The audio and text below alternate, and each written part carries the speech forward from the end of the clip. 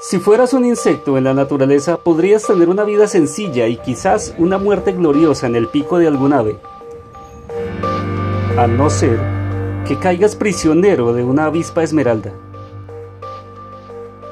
La avispa esmeralda es un insecto parasitoide muy común en regiones tropicales de África, la India y está presente también en algunas islas del Pacífico. A simple vista resulta ser un insecto muy común excepto por su coloración iridiscente muy similar a los plumajes de un colibrí.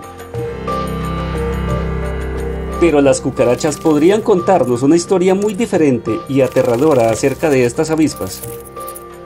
El horror empieza a gestarse cuando la avispa es fecundada y queda lista para dar vida a la siguiente generación.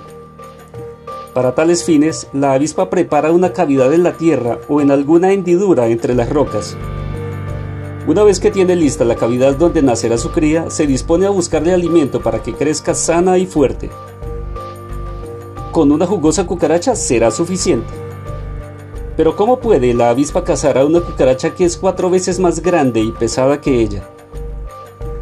Una vez que localiza a su víctima, la avispa se vale de un método que resulta verdaderamente inquietante para reducir a su presa. Con movimientos rápidos y certeros, la avispa logra picar a su presa en un determinado ganglio torácico, inyectando veneno a gran velocidad en la hemolinfa de la cucaracha. Con esto, la primera parte de su plan está completada y logra paralizar el primer par de patas de su presa. La avispa realiza una segunda picadura con una precisión más que quirúrgica en el cerebro de la cucaracha.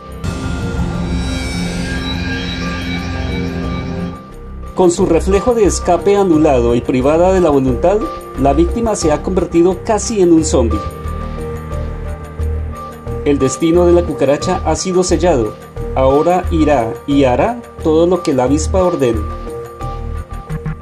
Tironeándola de una de las antenas, la conduce hasta su madriguera previamente preparada. Una vez allí, la avispa deposita un huevo en el cuerpo de su presa. La avispa esmeralda abandona el recinto y sella la entrada con pequeñas rocas.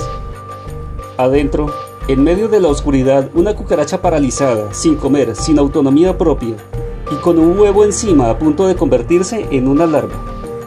Al producirse la eclosión, la larva se introduce en el cuerpo de su anfitriona y empieza a parasitarla. En un orden establecido, la larva va royendo los órganos internos poco a poco, desde los menos vitales para mantener a su huésped con vida el mayor tiempo posible. La larva se convierte en pupa dentro del cuerpo de la cucaracha. Cuatro semanas después de iniciado el horror, emergerá una avispa esmeralda totalmente adulta.